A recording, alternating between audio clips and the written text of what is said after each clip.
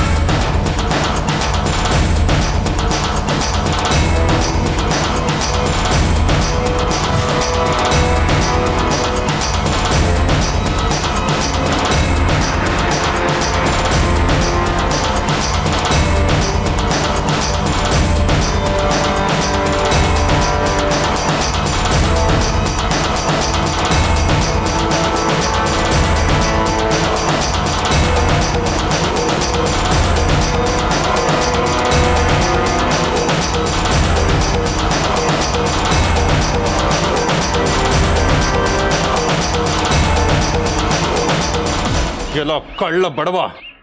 ಮೊದಲೇ ನೀನು ದೇವಸ್ಥಾನದ ಕಳ್ಳ. ಇಲ್ಲಿ ಬಂದು ಆ ಬುದ್ಧಿನ ಬಿಡ್ಲಿಲ್ಲಲ್ಲ? ಆ ಮೂಕ್ತಿನ ಕದ್ದು. ಪಾಪ ಬಂಗಾರಿ ಮೇಲೆ ಎಲ್ಲರಿಗೂ ಅನುಮಾನ ಬರೋ ಹಾಗೆ ಮಾಡ್ದೆ. ನಿನ್ನನ್ನು ಏನ್ ಮಾಡ್ಬೇಕು ಗೊತ್ತಾ? ಎತ್ತೆ ಹಂಗೆ. ನಾನು ಅವಾಗ್ಲಿಂದ ನೋಡ್ತಾನೆ ಇದ್ದೀನಿ. ವಯಸ್ಸಾದವರು ಅಂತಲೂ ನೋಡ್ದೆ, ಅವ್ರ ಮೇಲೆ ಕೈ ಮಾಡ್ತಾ ಇದ್ದೀರಾ? ಈ ಬಂಗಾರಿನೇ ಮೂಗುತಿ ಕದ್ದು ಯಾಕೆ ಇವ್ರ ಕೈಲಿ ಕೊಟ್ಟಿರ್ಬಾರ್ದು? ಏನಮ್ಮ ಹೇಳ್ತಾ ಇರೋದು ನೀನು? ನಿಜಾನೇ ಹೇಳ್ತಾ ಇದ್ದೀನಿ ಸಾಹೇಬ್ರೆ. ಈ ಬಂಗಾರಿ ಜೈಲಿಂದ ಬಿಡುಗಡೆ ಆಗೋದಕ್ಕೆ ದುಬಾರಿ ವಕೀಲರನ್ನ ನೇಮಕ ಮಾಡ್ಕೊಂಡಿದ್ದಾನೆ. ಈ ಪೊಲೀಸ್ ಅಮ್ಮನ ಅದಕ್ಕೆ ಸಾಥ್ ಕೊಟ್ಟಿದ್ದಾಳೆ. ಅದಕ್ಕೆ ಯಾವಾಗ್ಲೂ ಅವನ ಪರವಾಗೇ ನಿಂತ್ಕೊಳ್ತಾಳೆ. ಇವನಿಗೆ ದುಡ್ಡಿನ ಅವಶ್ಯಕತೆ ಇದೆ. ಇವನೇ ಯಾಕದ್ದು? ಈತನ ಕೊಟ್ಟಿರ್ಬಾರ್ದು? ಪಾಪ, ಇವನಿಂದ ಇವ್ರು ಬಲಿ ಆಗ್ತಿದ್ದಾರೆ. ಹೌದು ಇವನೇ ಕತ್ ತಂದು ಕೊಟ್ಟಿದ್ದು. ಆಮೇಲೆ ಹಂಚ್ಕೊಳ್ಳೋಣ ಅಂತ ಹೇಳ್ದ. ನೋಡು ನಿಜ ಹೇಳು. ನಾನು ನಿನಗೆ ಮೂಗುತಿ ಕತ್ತೊಂದು ಕೊಟ್ಟನಾ ಇಲ್ಲ ನನಗೆ ಇದಕ್ಕೆ ಯಾವ ಸಂಬಂಧ ಇಲ್ಲ. ನನ್ನ ನಂಬಿ ಇವರಲ್ಲ ಇವರಲ್ಲ ಸುಳ್ಳು ಸುಳ್ಳು ಸುಳ್ಳು ಆಪಾದನೆ ಮಾಡ್ತಿದ್ದಾರೆ. ದಯವಿಟ್ಟು ನನ್ನ ನಂಬಿ ದಯವಿಟ್ಟು ನಮ್ಮ ನನ್ನ ನಂಬಿ. ನಾನು ಯಾವುದು ಮೂಗುತಿ ಕದ್ದಿಲ್ಲ.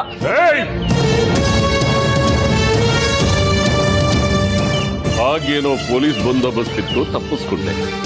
ಈಗ ಅಮ್ಮನವ್ರಿಗೆ ಸಲ್ಲಬೇಕಾದ್ದನ್ನೇ ಕದ್ದು ಇಲ್ಲ ಅಂತ ಬೇರೆ ವಾದ ಮಾಡ್ತಾ ಇದೀಯ? ನಿನ್ನಂಥವನಿಗೆ ಸರಿಯಾದ ಪಾಠ ಕಲಿಸ್ಬೇಕು. ಏನ್ ನೋಡ್ತಾ ಇದ್ರ ಎಲ್ಲ? ನಿಂತವನಿಗೆ ಹಿಡಿದು ನಾಲ್ಕು ತದ್ಕದ್ರೆ ಬಾಯ್ ಬಿಡ್ತಾರೆ. ಏ, ಪಂಚಾಕ್ಷರಿ ಬಾ. ಕಂಬ ಕಟ್ಟು.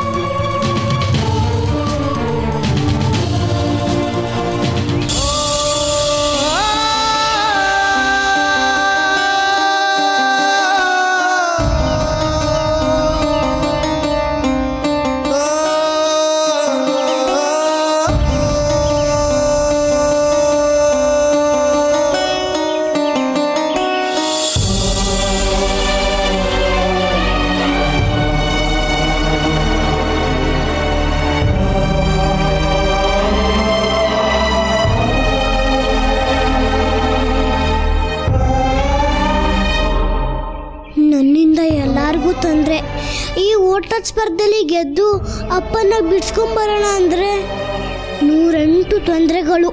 ಅಮ್ಮ ತಾಯಿ ತಿಪ್ಪಸುಂದ್ರಿ ಇದನ್ನ ನಿನ್ ಲೀಲೆ. ಕಷ್ಟನೂ ನೀನೇ ಕೊಡ್ತೀಯ.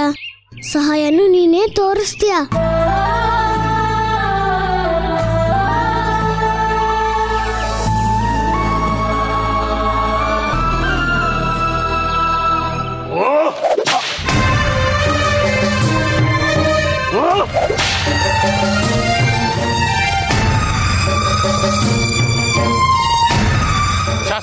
ನಿಲ್ಸಿ. ನಾನು ನೀವು ಮಾಡೋ ಆಗಿಲ್ಲ ನಾವು ಮಾಡ್ಬೇಕು ಮೊದಲು ಶಿಕ್ಷೆ ಆಮೇಲೆ ಮಿಕ್ಕಿದ್ದಿಲ್ಲ. ಬನ್ನಿ ಈ ಕಡೆಗೆ.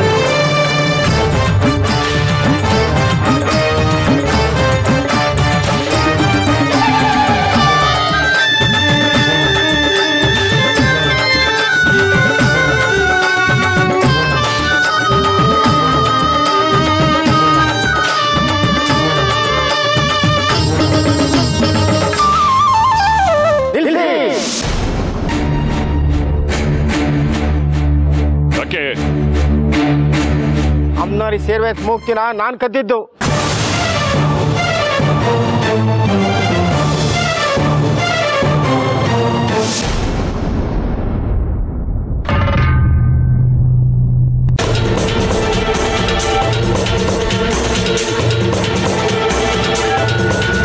ಅದಕ್ಕೆ ಬಂಗಾರಿಗೆ ಹೊಡೆದ್ರು ನನಗೆ ನೋವಾಗ್ತಾ ಇದೆ.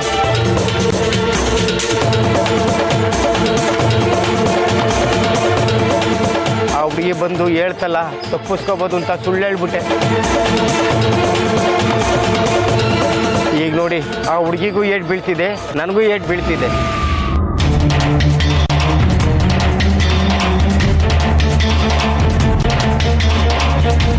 ದಯವಿಟ್ಟು ಕ್ಷಮಿಸಿ, ನಾನೇ ಕದ್ದು ಬಂಗಾರಿ ಮೇಲೆ ಹಾಕ್ಬಿಟ್ಟೆ.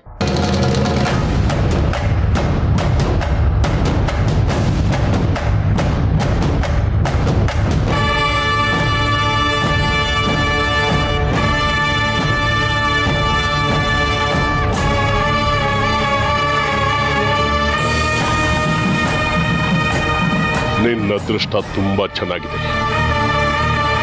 ಈ ಬಾರಿ ತಪ್ಪಿಸ್ಕೊಂಡಿದ್ಯಾ? ಆದರೆ ಮುಂದೆ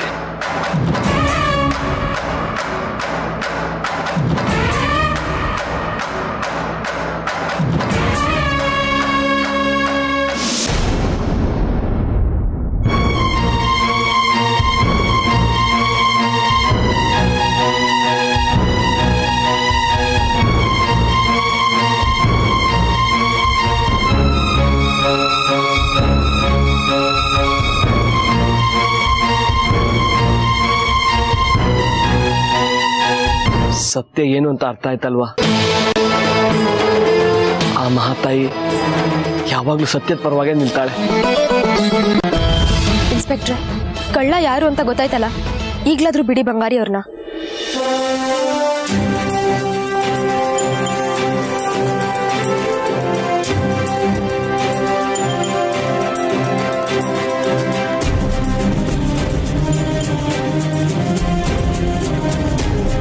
ಎಲ್ರಿಗೂ ಸೇರಿಸಿ ಊಟ ತಂದಿದ್ದೀನಿ. ಬಂಗಾರಿ ಅವರೇ ನೀವು ಬನ್ನಿ.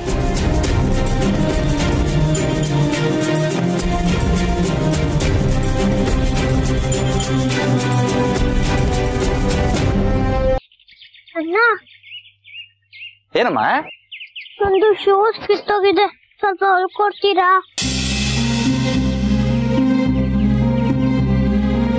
ಇದೇನಿದು? ಇಷ್ಟೊಂದು ಕಿತ್ತೋಗ್ಬಿಟ್ಟಿದೆ. ಹೊಲ್ಕೊಡಿ ಇದನ್ನ? ಅಪ್ಪ ಅಮ್ಮ ಕಷ್ಟಪಟ್ಟು ಶೂ ಕೊಡಿಸ್ತಾರೆ. ನೀವು ನೋಡ್ದೆ ಎರ್ರಾ ಬಿರ್ರ ಹಾಕೊಂಡು ತುಳಿದು ಹಾಳು ಮಾಡಿಕ್ತೀರ. ಇದನ್ನ ಈ ಪಾಟಿ ಹರ್ಕೊಂಡ್ ಬಂದಿದ್ಯಲ್ಲ ಏನ್ ಬೆಟ್ಟ ಕಡೆಯ ಕೆಲ್ಸಕ್ಕೆ ಹೋಗಿದ್ದೆ? ಇಲ್ಲ ಅಣ್ಣ ನಾನು ಊಟದ ಸ್ಪರ್ಧೆಯಲ್ಲಿ ಭಾಗವಹಿಸಕ್ಕೆ ತರಬೇತಿಗೆ ಹೋಗಿದ್ದೆ. ಓಡಿದ್ರೆ ಈ ಪಾಟಿ ಅರ್ಧ ಹೋಗುತ್ತಾ? ಸಾಧ್ಯನೇ ಇಲ್ಲ. ಇದನ್ನ ಯಾರೋ ಬೇಕು ಅಂತ ಕುಯ್ದು ಹಾಕಿದ್ದಾರೆ. ನೋಡಮ್ಮ ಶೂ ಈ ತರ ಇರಲ್ಲ. ಇದನ್ನ ರಿಪೇರಿ ಮಾಡಕ್ ಆಗಲ್ಲ. ಹೊಸ ಶೂನೇ ತಗೋಬೇಕು. ಆದ್ರೂ ಪರವಾಗಿಲ್ಲ ಅಂತ ಇದನ್ನ ರಿಪೇರಿ ಮಾಡಿದ್ರೆ ಶೂ ತರ ಇರಲ್ಲ. ಯಾವ್ದೋ ಪ್ರಾಣಿಗೆ ಹೊಟ್ಟೆ ಬಂದಂಗಿರುತ್ತೆ. ಅಯ್ಯಯ್ಯೋ ಹೌದಾ? ಹಂಗಾರ್ ನಾನು ಏನ್ ಮಾಡೋದು? ನೋಡಮ್ಮ ಬೇರೆ ದಾರಿ ಇಲ್ಲ. ನೀನು ಹೊಸ ಶೂನೇ ತಗೋಬೇಕು. ಬೇಕಂದ್ರೆ ಇದೇ ರೀತಿ ಶೂ ನನ್ನ ಅಂಗಡಿಲಿ ಇದೆ. ಅದನ್ನ ಬೇಕಾದ್ರೆ ನೀನ್ ಕೊಡ್ತೀನಿ.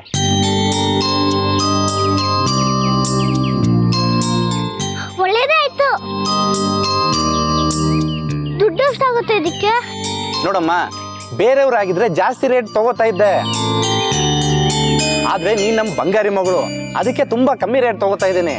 ನಮ್ಗೆ ಮುನ್ನೂರು ರೂಪಾಯಿ ಕೊಟ್ರೆ ಸಾಕು. ಅಂಗಡಿನಲ್ಲಿ ತಗೊಂಡ್ರೆ ಸಾವಿರ ರೂಪಾಯಿ ಖರ್ಚಾಗುತ್ತೆ. ನಮ್ಗೆ ಹಾಕಿರೋ ಬಂಡವಾಳ ವಾಪಸ್ ಬಂದ್ರೆ ಸಾಕು. ಅದಕ್ಕೆ ತುಂಬಾ ಕಮ್ಮಿ ರೇಟಿಗೆ ಕೊಡ್ತಾ ಇದ್ದೀನಿ. ಹಾಗೆ ಆಗ್ಲಿ ಅಣ್ಣ ನಾನು ಮತ್ತೆ ಮುಂದೆ ಯಶಸ್ವಿನ ತಗೊಂಡೋಗ್ತೀನಿ. ಅಲ್ಲಿವರೆಗೂ ಯಾರು ಕೊಡ್ಬೇಡಿ. ಆಗ್ಲಮ್ಮ ಬೇಗ ಬಾ. ತುಂಬಾ ಹೊತ್ತಾದ್ರೆ ಅಂಗಡಿ ಮುಚ್ಚಿಬಿಡ್ತೀನಿ. ಮತ್ತೆ ನಾಳೆನೆ ತೆಗೆಯೋದು. ಇಲ್ಲ ಇಲ್ಲ. ಇವತ್ತು ತಗೊಂಡ್ಬರ್ತೀನಿ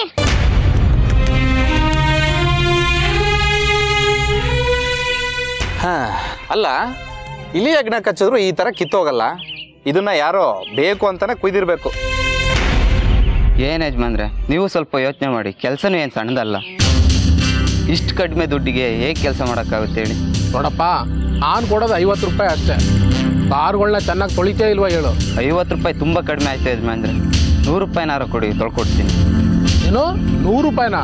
ಏ, ಆಗಲ್ಲಪ್ಪ. ತುಂಬ ದುಬಾರಿ ಆಯ್ತು. ದುಬಾರಿ ಆಯ್ತಾ? ಸರಿ ನಿಮ್ಮ ಕೆಲಸನ ನನ್ನ ಕೈಲಿ ಮಾಡ್ಕೊಡೋಕ್ಕಾಗಲ್ಲ. ಬೇರೆ ಯಾರನ್ನಾರು ನೋಡ್ಕೊಳ್ಳಿ. ಸರಿ ನಾನು ಬರ್ತೀನಿ. ನೀನೆಲ್ಲ ಅಂದ್ರೆ ಇನ್ನೊಬ್ರು ತೊಳಿತಾರೆ. ಹೋಗಯ್ಯ. ಯಜಮಾನ್ರೆ!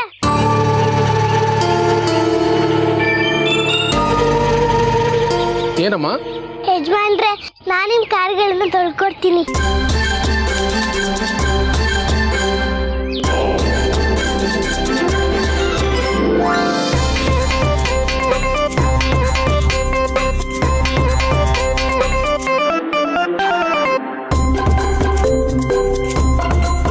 ಏನು? ನೀನು ನಮ್ಮ ಕಾರ್ಗಳು ತೊಳಿತೀಯ? ಹೆಣ್ಮಕ್ಳು ಇಂಥ ಕೆಲಸ ಎಲ್ಲ ಮಾಡಬಾರ್ದು. ಹೋಗಮ್ಮ ಮನೆಗೆ. ಎಲ್ಲ ಕೆಲಸನೂ ಎಲ್ಲರೂ ಮಾಡ್ಬೋದು ಯಜಮಾನ್ರೆ. ಕೆಲ್ಸ ಮಾಡಕ್ಕೆ ಯಾರಾದ್ರೆ ಏನು? ಅಲ್ಲಮ್ಮ ಚೋಟುದ್ದ ಇದೆಯಾ ನೀನು? ನನ್ನ ಕಾರ್ ಚಕ್ರದಷ್ಟು ಎತ್ತರ ಇಲ್ಲ ನೀನು. ಅಂಥದ್ರಲ್ಲಿ ನೀನು ಹೇಗಮ್ಮ ಕಾರ್ ತೊಳೆಯೋಕ್ಕಾಗುತ್ತೆ? ಇಲ್ಲ ಇಲ್ಲ. ನಿನ್ನ ಕೈಲಿ ಆಗಲ್ಲ. ಹೋಗಮ್ಮ. ಯಜಮಾನ್ರೆ ನನ್ನ ಎತ್ತ ನೋಡಿ ನಾನ್ ಮಾಡೋ ಕೆಲ್ಸನ ತೀರ್ಮಾನ ಮಾಡ್ಬೇಡಿ. ನಾನ್ ಮಾಡೋ ಕೆಲ್ಸ ನೋಡಿ ಆಮೇಲೆ ನೀವೇ ಹೇಳ್ತೀರಾ? ಬೇಷ್ ಅಂತ. ದಯವಿಟ್ಟು ಇಲ್ಲ ಅನ್ಬೇಡಿ. ಮೊದ್ಲು ನಾನು ನಿಮ್ಗೆ ಕಾರ್ ತಗೊಡ್ತೀನಿ. ಆಮೇಲೆ ನೀವು ನನಗೆ ದುಡ್ಡು ಕೊಡಿ. ಹ್ಞೂ ನನ್ನನ್ನು ಬಿಡೋ ಕಾಣ್ತಾ ಇಲ್ಲ ನೀನು. ನೋಡಮ್ಮ ಅಲ್ಲಿ ಬಕೆಟು ನೀರು ಬಟ್ಟೆ ಎಲ್ಲ ಇದೆ. ಅದೇನು ಮಾಡ್ತೀವಿ ಮಾಡು. ಆಯ್ತು ಯಜಮಾನ್ರೆ ಹಾಗೆ ಆಗಲಿ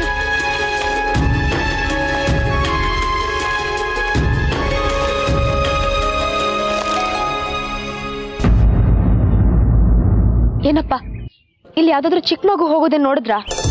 ಚೆನ್ನಾಗಿ ಹೇಳಿದ್ರಿ. ನಾವು ರೋಡಲ್ಲಿ ಕೂತ್ಕೊಂಡು ಕೆಲಸ ಮಾಡೋ ಜನ. ಬೇಕಾದಷ್ಟು ಜನ ಓಡಾಡ್ತಾರೆ. ಅದೆಲ್ಲ ನಮ್ಮ ನೆನಪಲ್ಲಿ ಇರಲ್ಲ. ನಾವ್ ಒಂದ್ಸರಿ ತಲೆ ಬುಗ್ಗಿಸ್ಕೊಂಡು ಕೆಲಸ ಮಾಡಕ್ ಶುರು ಮಾಡಿದ್ರೆ ತಲೆ ಎತ್ತೋದೇ ಇಲ್ಲ. ನಾವು ಜನಗಳ ಕಾಲ್ ಮಾತ್ರ ನೋಡೋದು. ಜನಗಳ ಮುಖ ನೋಡೋದಿಲ್ಲ. ಅದು ಸರಿ ಅನಿ. ಅಕಸ್ಮಾತ್ ನೋಡಿದ್ರೇನೋ ಅಂತ ಕೇಳಿದೆ ಅಷ್ಟೇ.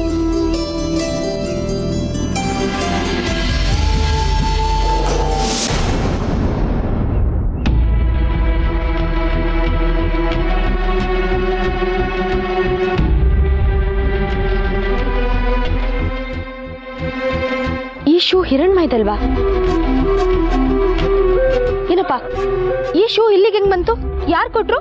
ಓ ಇದಾ? ನಮ್ಮ ಬಂಗಾರಿ ಮಗಳು ಹಿರಣ್ಮೈದು. ರಿಪೇರಿಗೆ ಅಂತ ತಂದ್ಕೊಟ್ಟಿದ್ಲು. ನಾನು ಹಿರಣ್ಮೈನೆ ಹುಡುಕ್ತಾ ಇರೋದು.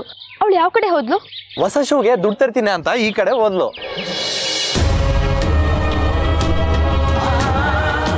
ಸರಿ.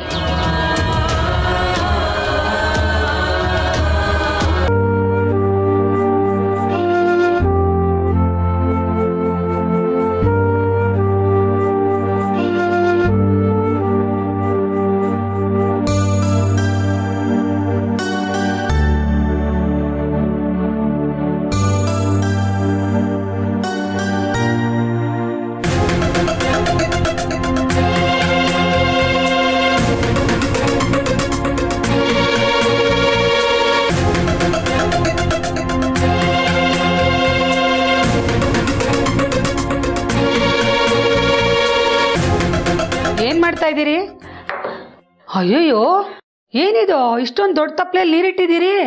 ಅದು ಸ್ನಾನ ಮಾಡೋಣ ಅಂತ ಬಚ್ಚಲ್ ಮನೆಗೆ ಹೋದೆ. ಬಿಸಿನೀರು ಇರ್ಲಿಲ್ಲ.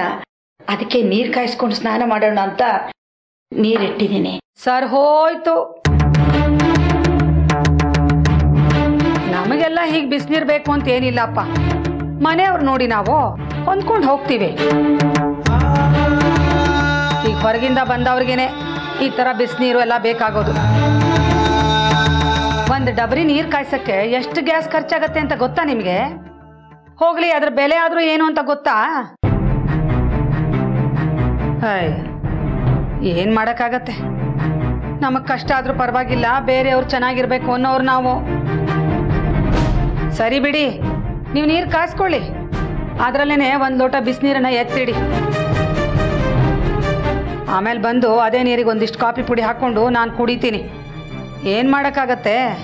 ಎಲ್ಲೋ ಖರ್ಚಾದ್ರೆ ಎಲ್ಲೋ ಉಳಿಸ್ಕೋಬೇಕಲ್ಲ. ಅದು ಹಾಗಲ್ಲಮ್ಮ. ಅದು ಬೇಡಿ ಬೇಡಿ ಬೇಡಿ. ನೀವೇನು ಹೇಳಬೇಡಿ. ನಾನೇನ್ ನಿಮಗೆ ಬಿಸಿನೀರು ಕಾಸ್ಕೋಬೇಡಿ ಅಂತ ಹೇಳಿಲ್ಲ. ಅಲ್ಲ ಒಂದು ಮಾತು ಕೇಳ್ತೀನಿ. ಇಷ್ಟು ಆರೋಗ್ಯವಾಗಿದ್ದೀರಿ. ಬಿಸಿನೀರೇ ಬೇಕಾ ನಿಮಗೆ ಸ್ನಾನಕ್ಕೆ? ನಾವು ಮಾತ್ರ ಹುಷಾರ್ ತಪ್ಪಿದ್ರೆ ಅಷ್ಟೇನಪ್ಪ ಬಿಸಿನೀರಲ್ಲಿ ಸ್ನಾನ ಮಾಡೋದು. ಇಲ್ಲ ಅಂದ್ರೆ ತಣ್ಣೀರಲ್ಲೇ ಸ್ನಾನ ಮಾಡ್ತೀವಿ. ನೀವು ಬಿಸಿನೀರು ಸ್ನಾನನೇ ಮಾಡಿ. ನಾನೇನ್ ನಿಮಗೆ ಬೇಡ ಅಂತ ಹೇಳಿಲ್ಲ. ಆಮೇಲೆ ಅದನ್ನ ತಗೊಂಡು ಹೋಗ್ಬಿಟ್ಟು ರಶ್ಮಿಗೆ ಹೇಳಿ ದೊಡ್ಡ ರಾದ್ಧಾಂತ ಆಗೋದು ಬೇಡ. ನಾನು ಆಮೇಲೆ ಬರ್ತೀನಿ ಅಡುಗೆ ಮನೆಗೆ. ಸೀತಮ್ಮನವ್ರೆ ನಿಂತ್ಕೊಳ್ಳಿ. ನೀವು ಹೇಳಿದಾಗೆ ಬೇಸಿಗೆಗಾಲದಲ್ಲಿ ಬಿಸಿನೀರು ಯಾಕೆ? ನಾನು ತಣ್ಣೀರಿನಲ್ಲೇ ಸ್ನಾನ ಮಾಡ್ಕೊತೀನಿ. ನೀವು ಬೇಕಿದ್ರೆ ಕಾಫಿ ಮಾಡ್ಕೊಳ್ಳಿ.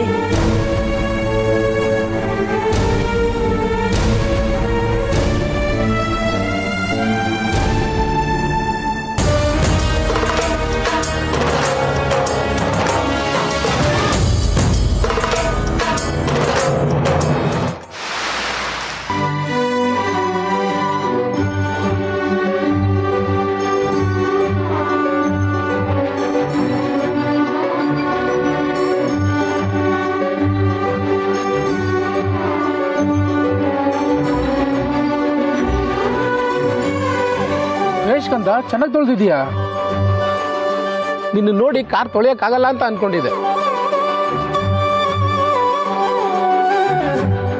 ತಗೊಳಮ್ಮ ಬೇಕಂದ್ರೆ ಇದೇ ರೀತಿ ಶೂ ನನ್ನ ಅಂಗಡಿಲಿ ಇದೆ. ನಮಗೆ ಮುನ್ನೂರು ರೂಪಾಯಿ ಕೊಟ್ರೆ ಸಾಕು.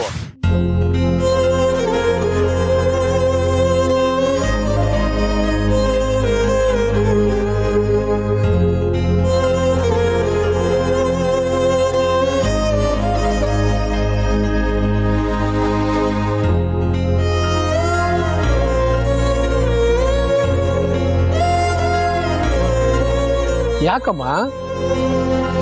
ಏನಾಯ್ತು? ಏನಿಲ್ಲ ಯಜಮಾನ್ರೆ. ಅದು ಪರವಾಗಿಲ್ಲ ಹೇಳಮ್ಮ. ಅದು ನಾನೊಂದು ಊಟ ಸ್ಪರ್ಧೆಯಲ್ಲಿ ಭಾಗವಹಿಸ್ತಾ ಇದ್ದೀನಿ. ಅದಕ್ಕೆ ಶೂ ಬೇಕಾಗಿತ್ತು. ಅದಕ್ಕೋಸ್ಕರ ನಾನು ಕೆಲಸ ಮಾಡಿದ್ದು.